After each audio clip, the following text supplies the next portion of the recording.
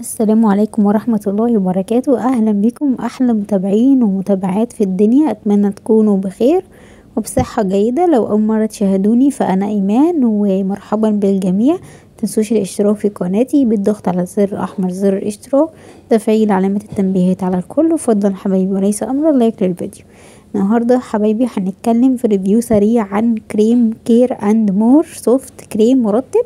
انتعاش الروائح الاستوائية خلي بالكم في انواع منه كتير قوي فانا بتكلم عن اللي هو انتعاش الروائح الاستوائية ركزوا معايا كويس قوي لأن الكريم ده بيقال عنه ان هو افضل كريم مرطب ده غير كمان ان هو سعره اقتصادي جدا على قد الإيد.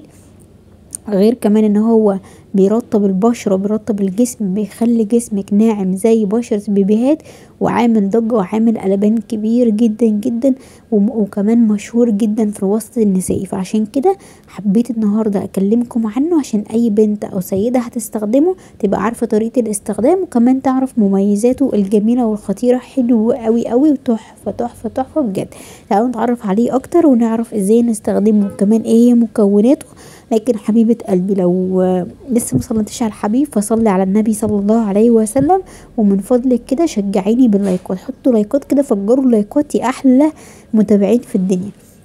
يا رب دايما كده أكون عند حسن ظنكم ولو في أي سؤال أو استفسار فعلى طول بدون تردد اكتبوهولي تحت في التعليقات وأنا إن شاء الله قدر المستطاع هرد على كل الأسئلة والاستفسارات اللي بتجيني مكتوب عليه إن هو بيحتوي على تركيبة زي الجليسرين وخلاصة الصبار وفيتامين E. ده غير كمان إن هو فيه البنسينول ده من أفضل الحاجات المرطبة للبشرة. تقدري تستعمليه آه للوجه للإيدين وللجسم. هما مكتوب عليه كده.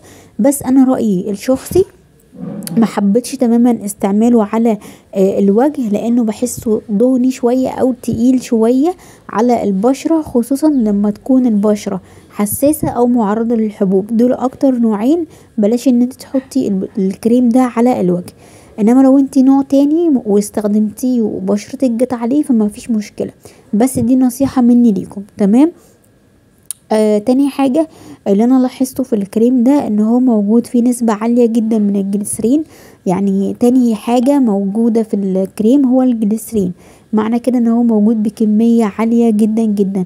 فده بيرطب البشرة بيرطب الجسم بيرطب الإيدين بيرطب الأماكن اللي فيها تشققات زي منطقة الكعوب بقى الاكواع دي أكتر أماكن بيبقى دايما مهتمة إن انت ترطبيها لأن دايما الجلد الخشن بيبقى متكون فوقيها وبعد كده بيسبب لك الإسمرار. خلي بالك لو اهتميتي بخطوة الترطيب عمر ما يحصل في بشرتك إسمرار تماما لأن الإسمرار بينتج من ضمن الحاجات اللي بينتج عنها الاستمرار هي عدم الاهتمام بالبشرة وعدم الترطيب أو عدم التقشير الجلد. فأفضل خطوة أو أفضل إمتى تستعمليه؟ آه هو بعد ما تاخدي شاور سخن هيبقى أفضل نتيجة ليه. أو تست... يعني تاخدي ميه دافية كده وتحطيه على جسمك عشان تفتحي المسام. أهم حاجة إن انت تحطيه على جسم يكون نضيف مفهوش زيت مفهوش لوشن مفهوش كريمات أو مكياج ويتحط على الجلد يكون نضيف وتستعمليه مع التدليك بحركات دائرية لطيفة وده بيساعدك في تنشيط الدورة الدموية وبيساعد كمان في إن الجلد يمتص الكريم بسهولة فبالتالي تستفيدي منه أقصى استفادة.